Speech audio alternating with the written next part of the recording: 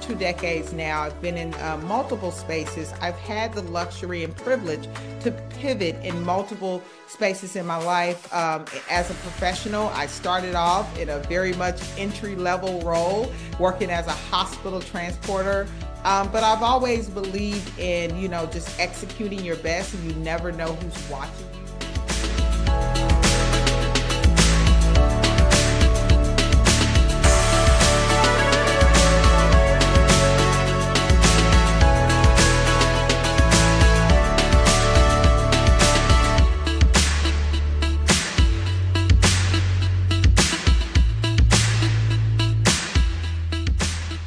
You know what?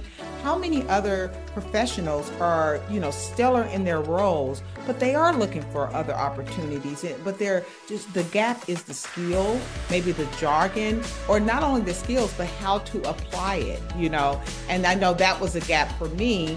Um, you can be in really large institutions, but you can still feel unfulfilled in a lot of ways.